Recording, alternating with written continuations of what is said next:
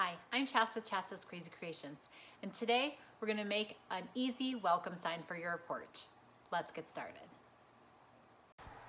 We had a bunch of scrap wood on hand from redoing the roof of our gazebo.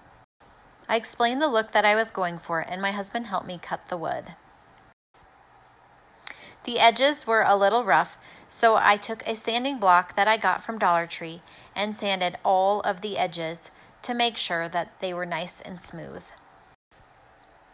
I love that the sanding block was only a dollar and was just the right thing to use for this project. Once I was done sanding the piece, I made sure to wipe it down with a damp cloth to free it of all the dust and debris before moving forward. Next, I wanted to use Folk Art Home Decor Wood Tint in the color Walnut. I'm a huge fan of this color.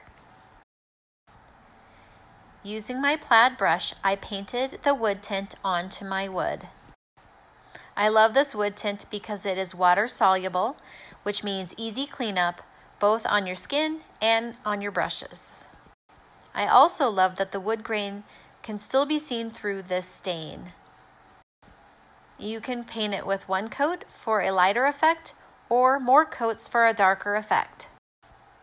You can also paint it on, and then use a rag to wipe off the excess. It's really easy to work with and it dries super fast. Once I had the entire plank painted, I went ahead and let it dry completely before moving on to the next step. While I was at the Target dollar spot, I had picked up these welcome wooden letters for just $3 at the store. I knew they would come in handy and I was just waiting for the opportunity to use them, and this was it.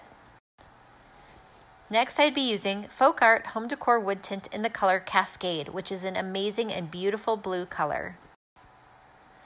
Using my paintbrush, I dipped it into the wood tint and then painted it onto each wood letter. Again, you can go light with one coat or let it dry and then add a second coat for a darker look. For these letters, I went with one coat.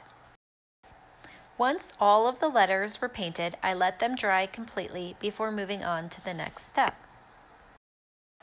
Once the letters were dry, I spaced them out onto the long plank.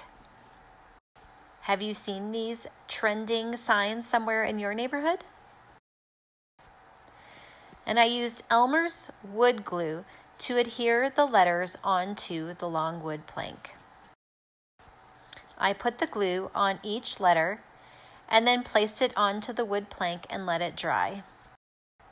Once all of the letters were in place and glued on, I let the whole thing dry completely.